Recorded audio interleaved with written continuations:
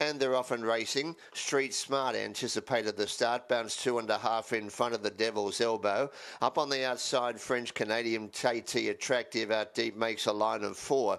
After 200 metres, and French Canadian the middle, Kaytee Attractive, Street Smarts is third from the Devil's Elbow, Cape of Bravado, and a length away last of all was Shalago. Up towards the 600, Kaytee Attractive on the outside is a neck in front over French Canadian second. A length and a quarter third, the Devil's Elbow, followed by Cape of Bravado and a half length Street Smart, who shanked back next to last on the inside. A length last of all, Shilago. Up towards the home turn, Kaytee Attractive on the outside, French Canadian the inside, they go together. A length and a half away, third Cape of Bravado. Street Smart's on the rails, and on the outside was Shilago, but down towards the 200, Kaytee Attractive race well clear. It's all Kaytee Attractive into second, Shilago, Kaytee Attractive Shalago second, third Cape of Bravado, French Canadian fourth, followed by Street Smart.